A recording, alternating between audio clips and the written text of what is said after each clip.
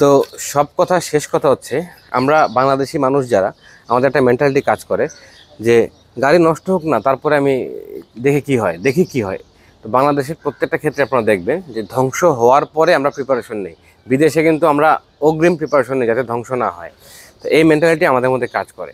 তো NX fuel জিনিসটা ধ্বংসের আগে, আপনার ইঞ্জিন ধ্বংস হওয়ার আগে এনএক্স ফুয়েল আমাদের তেলের গ্রেড খুবই খারাপ। যেই তেল আমরা গাড়িতে দিচ্ছি, গাড়ির ইঞ্জিনটা নষ্ট হচ্ছে প্লাগ নষ্ট হচ্ছে ইঞ্জিন নষ্ট হচ্ছে, তারপরে ডিপোজিট জমে গাড়ির ইঞ্জিনের মধ্যে, অনেক ক্ষতি হয়। তো আলটিমেটলি এনএক্স ফুয়েল দেওয়ার পরে গাড়ি কতটা স্মুথ হয় আমি তো এখন ভিডিওতে বলতে পারব না, বোঝাতে পারব না, আপনি চালালে বুঝবেন। ড্রাইভার চালাক, আপনি চালান, আপনি যদি নিজে চালায় থাকেন, তাহলে আপনি ফিল করবেন। গাড়িটা একদম স্মুথ হয়ে যাবে এসিটা খুব মানে গাড়ি কোনো শেক করবে না ভাইব্রেশন করবে না। তো এনএক্স ফুয়েল ব্যবহারের ফলে আপনি অনেক ধরনের বেনিফিট পাবেন। আপনার যে গাড়ির ইঞ্জিন ওয়েল থাকে মোবিল আমরা যেটাকে বলি। ওইটা আমি চেঞ্জ করি দশ হাজার কিলো পর পর। এটা অবশ্যই বেশি বাট আপনারা ডাবল মানে ডাবল টাইম ইউজ করতে পারবেন ইঞ্জিন ওয়েল কারণ যেহেতু ওই ডিপোজিট জমবে না পিস্টনের মধ্যে, সেক্ষেত্রে মোবিলটাও সহজে নষ্ট হবে না। তো এনএক্স ফুয়েল ইউজ করুন। গাড়ি ধ্বংস হওয়ার আগেই আপনি গাড়িকে বাঁচান। দাম বেশি না।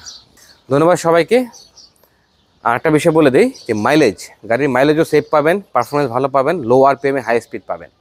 তো এনএক্স ফুয়েল একটা মেডিসিন একটা একটা মাল্টিভিটামিন যারা মাল্টিভিটামিন সম্পর্কে জানেন, তারা হয়তো বুঝেন যে আমরা যাদের বয়স আমাদের ফোর্টি আপ হয়ে গেছে, তারা আমরা এমনিতেই মাল্টিভিটামিন খাই। আমাদের বডিতে অনেক ভিটামিনের ঘাটতি ঘটে।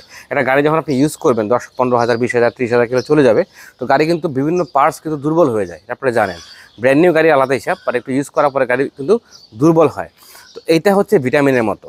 কারণ বিশুদ্ধ তেল যখন গাড়ি পাবে, তখন গাড়ি এমনিতেই হেলদি থাকবে, সুস্থ থাকবে মানে বডি বিল্ডার থাকবে। যাই হোক, কথা শেষ করি। ইউজ করেন এনএক্স ফুয়েল তারপর আপনারা নিজেরাই বুঝতে পারবেন এটা বেনিফিট কী। আসসালামু আলাইকুম।